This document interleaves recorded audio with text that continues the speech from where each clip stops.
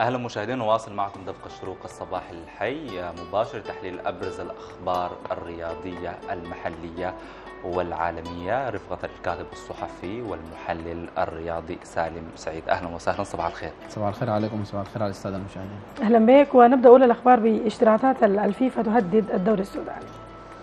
آه نعم هي من أهم اشتراطات الفيفا هي أن يبدأ الوباء في الانحسار بالنسبة لأي دولة في العالم.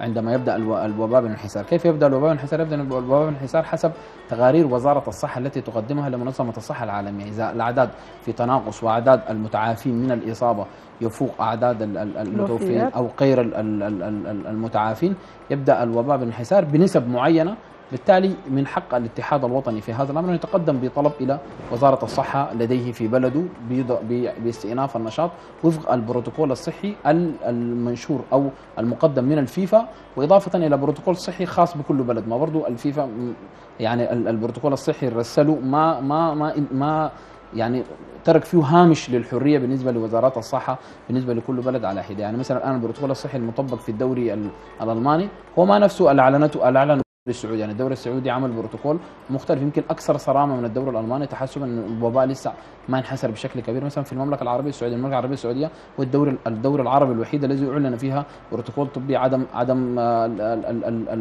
تبادل الغمصان عدم الاختلاط الدخول في الغرف. يعني كان في في صرامة شديدة جدا. اللعيبة برضه ما يكونوا متزاوجين مع أو ما يذهبوا إلى اهلهم بشكل كبير. إذا الفارق بين المباراة مضغوط يعني قللوا عدد الصحفيين في المدرجات. مثلا الاتحاد الألماني قال 10 صحفيين. الاتحاد السعودي يرى إنه العدد يجب أن يكون أقل الغنمات الرسمية فقط الغنم الناقلة بالنسبة للبطوله ففي ضغط كبير جدا.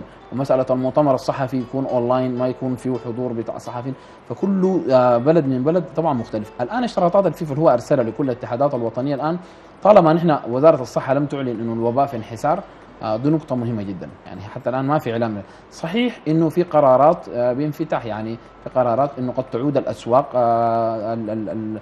وزارة الأوقاف سمحت بفتح دور العبادة المساجد والكنائس. تم فتحها. فبالتالي في انفراجة لكن مسألة العمل الرياضي الفيفا يشترط لأنه الفيفا عنده السلامة أهم من مواصلة النشاط فدي اشتراطات جاية من الفيفا. إذا لم يكن هناك انحسار لم يكن هناك أي بطولة دوري الأمر الآخر مسألة البروتوكول. برضو أنت البروتوكول يجب أن تطبقه بالكيفية اللي أنت تتفق معه. يعني في دوريات كان شايفة إنه يجب اللعيبة ان يكونوا في معسكرات ولا يختلطوا مثلا مع أهلهم. هم يكونوا في معسكرات زي البطولات الغاريه بطولة كأس عالم بطولة أمم أفريقيا. اللعيبة يكونوا قاعدين في معسكرات أو في فنادق والدوري تلعب. ده ممكن يكون أحد البروتوكولات برضه مسألة التعقيم مسألة مسائل كثيرة جدا فالفيفا ترك فيها التفسير بالنسبة لكل اتحاد وطني على حدة. أستاذ سالم يعني المشكلة الكبيرة الآن اللاعبين هم في ولايات السودان المختلفه كل الأندية، ده برضه لو حال تم تجميعه ممكن يؤثر سلبا. ما معروف الاختلاط ما معروف حالة الكورونا ممكن وهو جاي في الطريق ينقلها لبقية الفريق، لكن السؤال هل في حال تم إن شاء الله بإذن الله ينحسر المرض تدريجيا ويعود النشاط الرياضي. إحنا في جاهزية تامة. وشنو اللي بيخليني إنه أنا كل الاشتراطات الصحية دي تكون موجودة؟ خاصة إنه الأندية مرات ماليا ما بتمتلك الأغلبية من المال إنه توفر كل الاشتراطات الصحية خاصة مع ضعف الإمكانيات اللي عند الدولة يعني. تعقيم القرى الآن دي مشكلة سبقتنا فيها يعني الدولة الجارة الشقيقة مصر بخصوص مسألة البروتوكول. هل تتكفل به الانديه ام تتكفل به الاتحاد. يعني هم دخلوا في مشكلة وحتى الآن هم لا يزالوا في مشكلة. آه يمكن دولة زي السعودية يمكن قد يكون اتحاد اتحاد غني ما عنده مشكلة في إنه من يدفع البروتوكول الصحي. لأنه أنت أول حاجة عندك كشف. أنت اللعيبة ده أول حاجة قبل ما تجمعهم حتعمل كشف آه بتاع كورونا. الكشف نفسه هو مكلف يعني. حتعيد الكشف كله ثلاثة أيام وقبل كل مباراة. يعني مسألة مكلفة جدا إضافة إلى مسألة التعقيم وتعقيم الكرة والمدرجات وتعقيم الملابس وال يعني مسألة صعبة جدا ومحيط الملعب. يعني في والملعب هو ليست يعني 22 لاعب على أرضية الملعب. في احتياطي وجهاز فني وجهاز فني ورجال أمن والبول بوي الاولاد بتوعون الكره وعمال الإستاد. يعني في عدد كبير يتجاوز ال 100 شخص داخل الإستاد غير الإعلامي. فبالتالي المساله مسألة التعقيم ودخولهم وفحصهم عند دخولهم المسألة دي من, من ليس يتكفل بالمساله دي؟ يمكن الأندية تبدأ تتكفل بمسألة الفحص المبدئي الأول اللي تعمل عند التجميع عندما نحن نجمع اللعيبة. آه مثلا زي نادي المريخ أو نادي الهلال يجمع لعيبته عشان ما يبدوا التدريبات هنا حيكون في فحص. اولي اللعيبه عشان ما يختلطوا مع بعض. آه بعد ذاك عند إذا إذا ما أصيب لاعب ده برضه من ضمن البروتوكول بتاع الفيفا. مثلا الاتحاد الألماني كان طلع قرار الاتحاد الإيطالي قال يعزل الفريق كله. بعدين قام تراجع قال لا يعزل اللاعب ويعاد فحص الفريق كله. يلا أنت المسألة دي مسألة ماليا مكلفة جدا. نعم. والاتحاد الدوري السوداني للأسف بدون رعاية. مم. يكاد يكون أحد دوريات غليلة في العالم ما عنده رعاية. من اللي حيدفع القروش دي منه أنا أعتقد هي دي دي مشكلة هل ممكن حقيقية. يكون ده مبرر لأنه الأندية كلها ترفع تصور لوزارة الصحة أو الاتحاد إنه يتم إلغاء الدوري في حال إنه نحن ما توفرت لنا كل الاشتراطات عشان إحنا من من يعني دي حياة لاعبين وحياة نادي بأكمله يعني هو ال الاتحاد هو ال- اللي بيسعى إنه الدوري يرجع ما وزارة الصحة مم. يعني الاتحاد هو اللي بيسعى أنا في تقديري وزارة الصحة ممكن ممكن تقول الاتحاد اذا ما انت عندك قروش تدفع قروش البروتوكول الطبي ما ترجع. فبالتالي هو الاتحاد هو اللي بيقدم الطلب الأولاني وزارة الصحة هي ما معنية فقط في السودان بالدوري واللعب هي معنية بكل صحيح. الشعب السوداني. فبالتالي دي نقطة مهمة. ممكن الأندية ترفض لأنه الأندية في أندية في مصر رفضت الاتحاد المصري. أندية ما غنية. أنا ما بدفع قالت. مهم. أنتوا دارين الدوري يرجع؟ رجعوا و- وادفعوا أنتوا البروتوكول الطبي. الاتحاد المصري الآن سيدفع. هو الشركة الراعية. يعني باستثناء النادي الأهلي المصري لأنه شايف نفسه قريب للقب. مم. هو قال أنا بدفع. عايز احافظ هذا راح يحافظ أنا بدفع التكلفة المالية حقتي. الأندية الثانية رفضت. بالتالي هنا في السودان ممكن أندية ترفض. طب أنا ما بدفع البروتوكول الطبي خصوصا الأندية اللي ما عندها مصلحة إنه الدوري يرجع. يعني زي الأندية المهددة بالهبوط. أيوه نعم. إذا ما دفعتوا لي أنا ما بلعب. يمكن ده برضه بياخذنا نقطة ثانية مهمة. ال- الاجتماع اجتماع يوم الاثنين المقبل يعني آه، بين الأطراف الثلاثة. يعني إلى أين يق- يقود ال- الموسم الرياضي؟ والله أنا أعتقد إنه الاجتماع لن يعود إلى جديد. يعني هو الاجتماع كان اجتمعوا يوم الثلاثاء الفات وتقرر أن يجتمعوا غدا الاثنين الاثنين. 22 يونيو. آه الأطراف الثلاثة بحضور وكيلة آه وزارة الصحة. هي ما كانت حضور في الاجتماع الماضي. الأطراف وزارة الشباب والرياضة الاتحاد السوداني.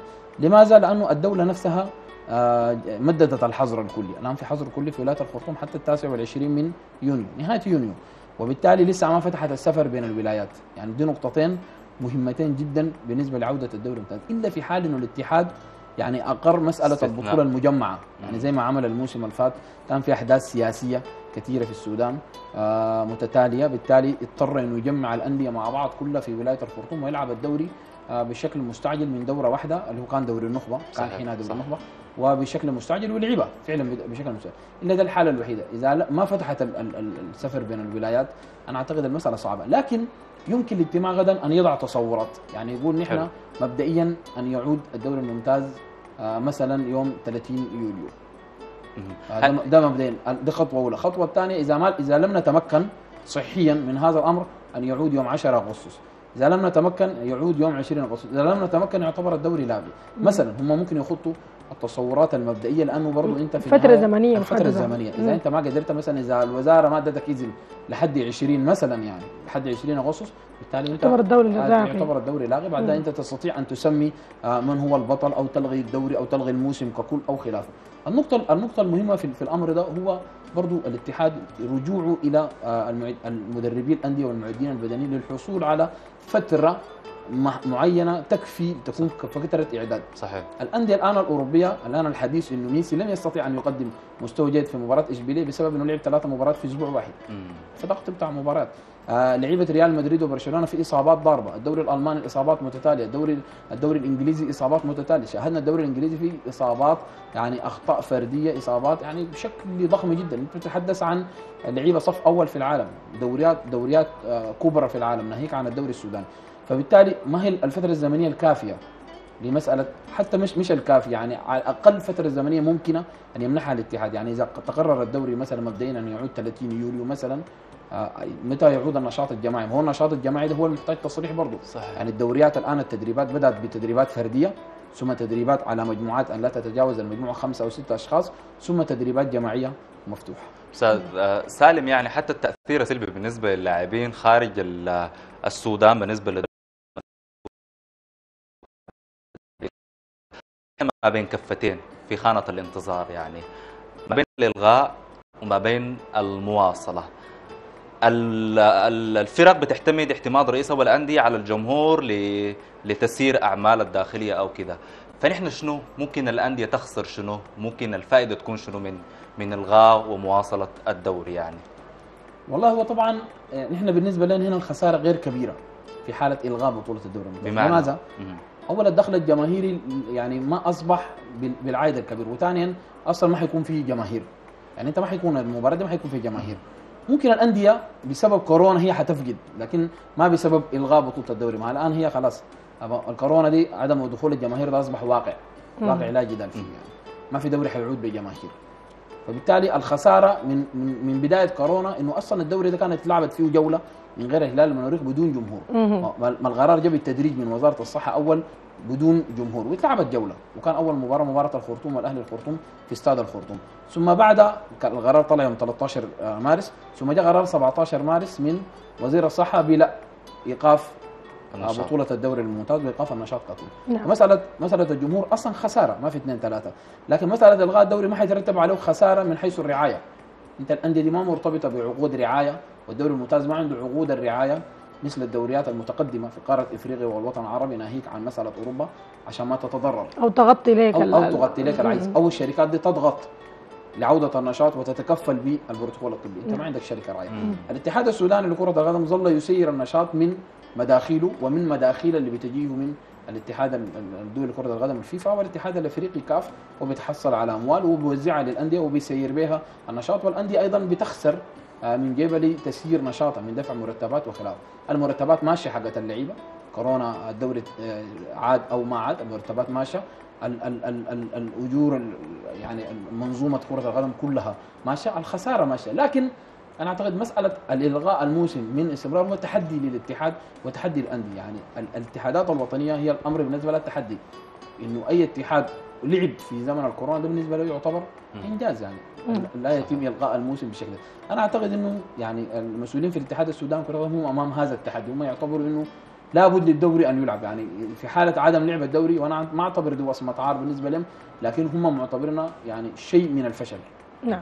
آه، في في حالة آه، العودة يعني في حال العودة هل آه، تملك لجنة المسابقات تصور كامل لاستئناف المباريات؟ والله يا المهندس الفاتح بقى قال نحن حنقدم تصورات. تصورات عدة حي... التصورات دي حترفع لمجلس الإدارة. مجلس الإدارة هو اللي حيمشي يناقشها في اجتماع آه، مع وزارة الشباب والرياضة مع وزارة الصحة. وبالتالي هو اللي حيخوض تصور لأنه هو الآن الدوري السوداني الآن آه، تبقت آه، عدد متفاوت من المباريات بين الأندية.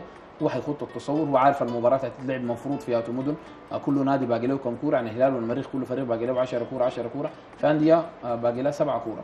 فبالتالي هو اللي عنده ال- ال- الأرقام دي وعنده الإحصاءات دي وهو الذي يملك وضع التصور من ناحية رياضية من ناحية مسابقة. نعم. وبعد ذاك ال- المجلس الإداري يجيز يجيز هذه التصورات ويرفعها إلى الوزارة وبعد ذاك الوزارة وزارة الصحة لو وافقت بعد ذاك آه، لجنة المسابقات تستطيع أن تنفذ أي تصور التي تمت اجازتهم أنت حتخوض عدد من التصورات والفترة الزمنية اللي ممكن ينتهي فيها الدوري.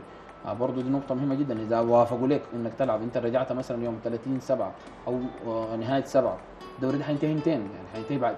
قدرتك إنك أنت تنهي الدوري في فترة قدر شنو؟ برضه في عوامل أخرى م- متصاحبة. مسألة الخريف آه، في استادات ما بتقدر تلعب في الخريف. آه نحن في الآن في شهور الخريف في عدد كبير من ولايات السودان. دي مسألة برضه مصاحبة ومسألة تسببت في تأجيل جولات مهمة جدا. أنت كل الأمور دي آه تصطحبها الآن. لكن حتى الآن لم يظهر لنا في الإعلام التصور الذي حتقدمه لجنه المسابقات لكن السؤال آه، نمر عليه بشكل سريع. يعني في حال تم إلغاء ال- الدوري يعني وخاصة السودان في فرق بتشارك آه، افريقيا على مستوى الكونفدرالية وأيضا على مستوى أبطال إفريقيا، هل يحق للأن آه، الاتحاد أنه يختار ممثلين للسودان؟ خاصة إحنا ما عارفين منو اللي حيفوز. آه، مثلا الهلال والمريخ هم الثوابت آه، كان أهلي آه، شندي أو هلال الابيض أو كذا، فال حيختار منو يعني؟ والله في دول لجأت إلى خيار الموسم الماضي. أها. وده فيه ظلم لأندية زي هلال وبيض وزي الأمل عطبره وفي دول لجأت إلى خيار الموسم الحالي. فبالتالي هو الاتحاد اللي عنده الخيار. هل هل يثبت الروليت الحالي؟ أو يلجأ إلى الموسم الماضي. في حالة تثبيت الروليت الحالي في تفاوت في عدد المباريات هل يلجأ إلى مسألة النسب؟ ودي مسألة لجأ لها الاتحاد الإنجليزي في دوري كرة القدم للسيدات. النسب. مانشستر سيتي كان متصدر لكن نسبة نقاط تشيلسي أعلى من نسبة نقاط مانشستر سيتي لأنه خاض عدد مباريات أقل وبالتالي توج نادي تشيلسي نادي مانشستر سيتي ما اعترض دي نق- دي النقاط اللي ممكن الاتحاد السوداني لكرة القدم لها هي أكثر من خيار وهو حر هو قرار مجلس إدارة مجلس إدارة الاتحاد السوداني لكرة يجتمع ويتخذ القرار. أكيد أي قرار حيكون فيه جهات متضررة وجهات مستفيدة. لو ثبت الروليت الحالي أو أعلن ال- الروليت الماضي آه، اعتمد الهبوط أو ألغى الهبوط اعتمد الصعود بالنسبة لأندية الدوري الوسيط. كلها سيناريوهات اتخذت في عدد من الدول وعملت رج... آه، مشاكل. الآن في الدوري الفرنسي ال- الأندية الهابطة مجلس المحكمة العليا في فرنسا آه، قضت بقرار بإلقاء الهبوط في فرنسا. الرابطة الفرنسية احتجت. مم. يعتبر ده تدخل من من المحكمة ولجأت الآن إلى مجلس الدولة. على على اعتبار إنه الموسم ال- القادم في فرنسا المفروض يتلعب ب 22 نادي. لا. هي شايفة الرابطة لا. الأندية الهابطة تنزل ونحن نلعب ب 20 نادي. الآن لا يزال هناك جدل. برضه الاتحاد السوداني عليه في اتخاذ القرار أن يصطحب كل هذه الأمور. مم. جملة وتفصيلا ويضع التصور للموسم القادم. نعم. طيب آه، الدوري السوداني بين الإلغاء والعودة اللي حدثنا عنها حاليا الفوائد والخسائر. والله هي ما في خسائر مادية. مم. عندك رعاية عندك ارتباطات. دي المسألة المهمة جدا. الخسائر بأنه أنت الدوري بتاعك ما اكتمل. أنا أعتقد ده أمر آه، غير جيد. الدوري الممتاز انطلق من منذ عام 96 ورغم العقبات ال- العديدة اللي يتعرض لها الدوري الممتاز من أحداث وصراعات رياضية وأحداث سياسية مرت بها البلاد لكن الدوري الممتاز ظل صامد ولعبت منه 24 جولة 24 نسخة الآن دي النسخة ال 25 الفوائد أنه الدوري يجب أن يتم بأي شكل كان إذا ما يتعارض مع الوضع الصحي بالنسبة لل لكن الخسارة إنه حيكون دوريك توقف خصوصا إنه الدوري بتاعنا ما فاضل فيه جولات كثيرة. يعني. عدد المباريات المتبقية غير كثيرة. هي مسألة فنية أكثر من مسألة كونها مسألة مادية لأنه نحن هنا ما عندنا رعايه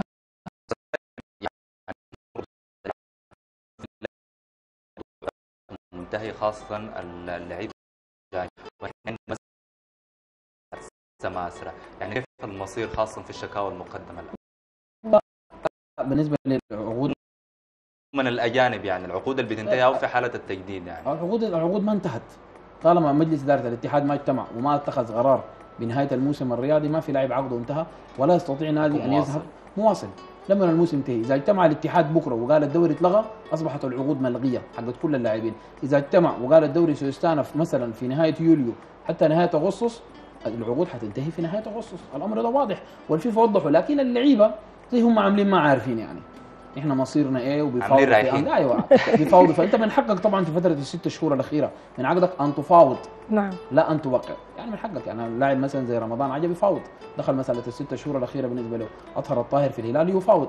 مسألة حتمية يفاوض نادي في السودان يفاوض نادي برا. لكن هو حتى الآن أطهر أو رمضان هم لاعبي الهلال والمريخ بالقانون والفيفا مرسل كلام زي ده. نعم.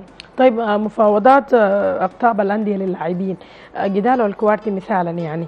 هل تمثل فوضى اداريه؟ الفوضى موجودة من زمان يعني أصلا يا ما ما رهينة بوجود المجلسين الحاليين الكاردينال أو نعم. سوداكال دي فوضى موجودة من زمان هو مفاوضات اللاعبين يجب أن تكون عبر الإطار الرسمي بغض النظر اللي بيدفع القروش منه يعني أنت اللي بيدفع القروش سواء دفع القطب القدالة أو دفع الكوارتي أو أي شخص إن كان الآن الكاردينال كان هو من تكفل بقروش اطهر الطاهر في عهد آه، لمين البرير دي ما فيها مشكلة إنه القطب هو اللي يتكفل بقروش لاعب ده أمر طبيعي جدا مم. لكن الأمر يجب أن يتم عبر القنوات الرسمية للنادي. مجلس الإدارة مجلس الإدارة هو الوحيد اللي يفاوض ويتكلم في الأمر ده.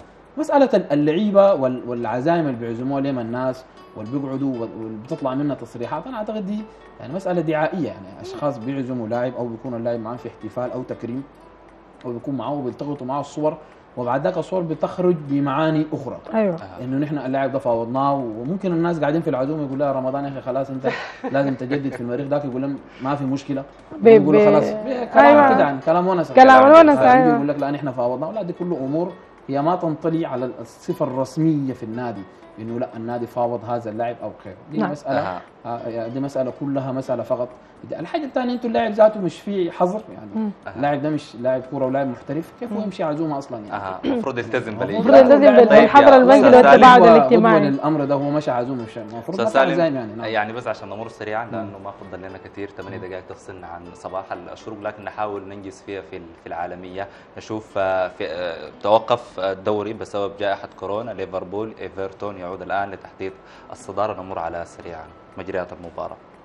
نعم ليفربول اليوم طبعا يعود لأول أول مباراة له منذ أكثر من 100 يوم منذ توقف بطولة الدوري.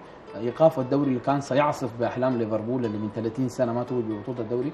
اليوم سيلعب ديربي الميرسيسايد مع جاره وغريمه آه، فريق إيفرتون.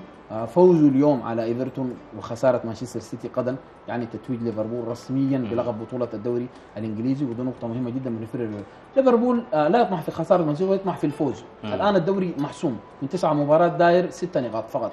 محسوم بنسبة 100% تمام؟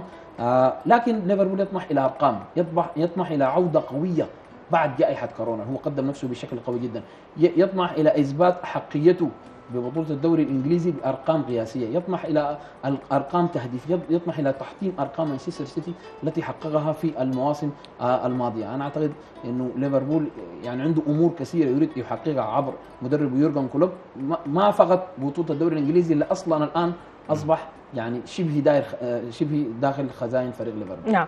إحنا شاكرين لك كثير جدا الأستاذ سالم سعيد الصحفي الرياضي على هذه المساحة التحليلية لهم الأخبار الرياضية المحلية وجزء من العالمية. شكرا جزيلا لك. شكرا. كان المفروض نحل برضه ريال مدريد آه، ريال مدريد اليوم لكن مفتاحية أمام لكن نأجل نشوف النتيجة وإن شاء الله بكرة التحليل يكون أوسع مع زملاء مختلفين في مجال الرياضة وتحليل الرياضة مقدرين جدا. شكرا مشاهدينا على كرم المتابعة. كتر خيرك يا على الرفقة الطيبة شكرا حمزة شكرا آه، فريق العمل شكرا لكل مشاهدينا داخل وخارج السودان. انتهى آه، انتهت حلقة اليوم صباح الشروق. حتى جديد الملتقى في أمان الله.